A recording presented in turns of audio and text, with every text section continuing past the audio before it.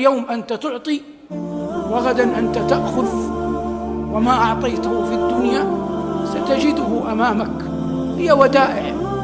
هذا يودعها في بنوك وهذا يودعها عند ملك الملوك. فمن أودعها في البنوك لن يراها إذا غيب في اللحد.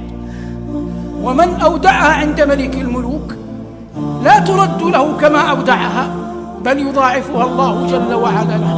وهذا شيء لا يقدر عليه إلا الله.